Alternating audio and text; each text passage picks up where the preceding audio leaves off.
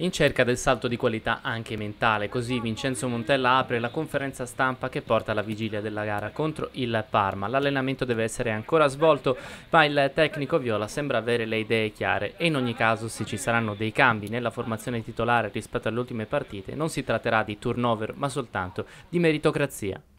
Ah, abbiamo detto sin dall'inizio abbiamo una rosa molto ampia, molto vasta e anche omogenea quindi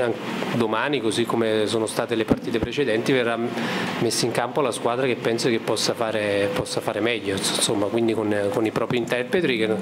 che, non necessariamente debbano essere gli stessi o saranno gli stessi, ma però non, non direi, non penso ecco, al turnover, penso a mettere in campo la squadra migliore per fronteggiare il Parma. E oltre alla sfida in sé per sé c'è anche un problema che potrebbe verificarsi all'orizzonte o quantomeno sotto pelle, quello della concentrazione in vista del doppio impegno ravvicinato contro la Juventus. Allora, questo penso che siano, eh, sia, sia tra quei momenti dove si deve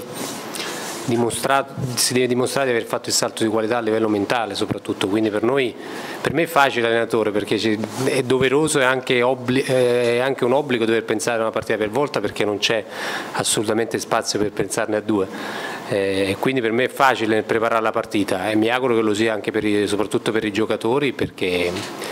è un passaggio fondamentale quello di domani, che ci, soprattutto come interpretazione alla partita, poi il risultato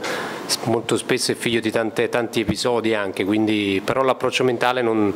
è, una partita molto, molto importante proprio perché viene in questo momento, proprio perché dopo tre giorni c'è una partita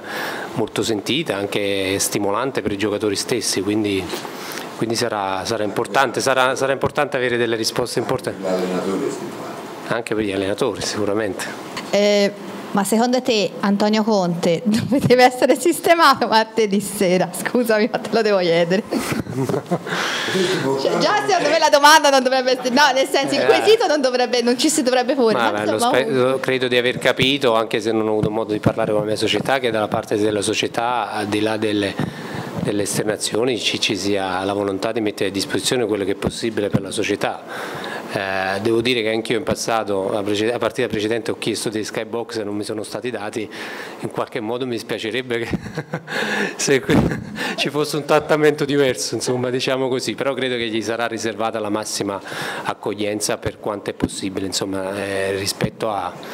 a come, come è ubicato il nostro stadio. E tornando alla partita del Tardini, queste le caratteristiche degli uomini di Donadoni che potrebbero mettere in difficoltà i Viola. Ma sicuramente il, il Parma finito un campionato eccellente la, la, scorsa stagione, qualcosina davanti hanno cambiato ed esclusivamente davanti, ma è una squadra che, che è molto ordinata, che si difende molto bene, che riparte con un contropiede, diciamo così, eh, hanno delle ripartenze molto veloci e so, è una squadra molto forte sui, sulle palle inattive,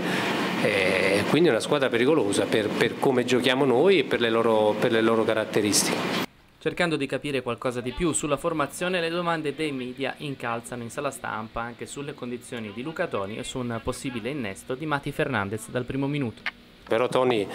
io lo considero senza guardare la carta d'identità, abbiamo la possibilità di, di, valutarlo giorno per giorno, sta crescendo, sta crescendo anche lui fisicamente, quindi per me eh, le scelte verranno fatte esclusivamente in base alla, a quello che, che, vedo, non certo alla carta d'identità. Sicuramente è un giocatore che, che per caratteristiche eh, ci sta benissimo nel nostro modo di giocare.